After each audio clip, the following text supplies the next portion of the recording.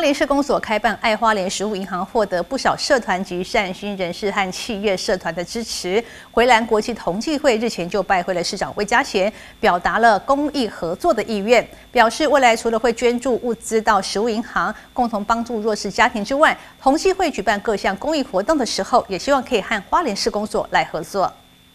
回兰国际同济会会长黄伯正协同干部一行十多人拜会花莲市公所，受到市长魏家贤热情欢迎。黄伯正表示，这次拜会主要是想和花莲市公所来合作推动公益活动。对这个社会服务的工作，这个做得很好，啊，而且我们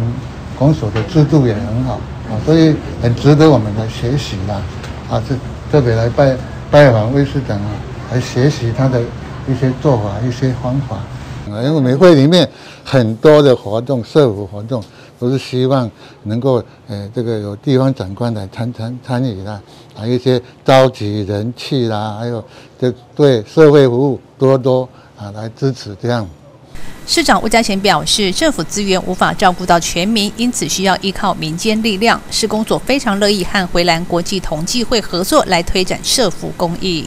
今天谢谢我们国际同济会回蓝会，我们黄会长跟所有的李监事跟会员伙伴哈，一起到花莲市公所。那呃未来我们也会跟回廊会来做相关的公益性的合作。那刚刚在呃整个拜访的过程里面，我们也非常感佩哈黄会长跟我们所有的会兄会姐哈，在昨天发生的华东大火的事件里面，他们也马上来成立一个。专案的一个针对弱势慰问的一个部分。那我们刚刚也有聊到食物银行的部分哦，我们也希望说未来有更多的社团可以了解食物银行的部分，他们在访视到弱势的时候，也可以把他们带到我们食物银行来领取有需要的物资。那花莲市公所永远是跟公益还有跟弱势站在一起，也希望大家有需要协助的部分，也请联络花莲市公所社劳课。那我们会全力的来帮助所有需要帮助的朋友们。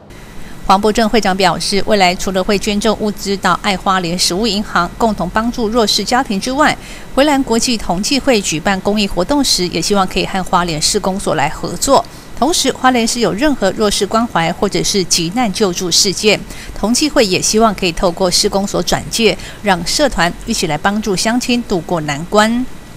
这里会换市报道。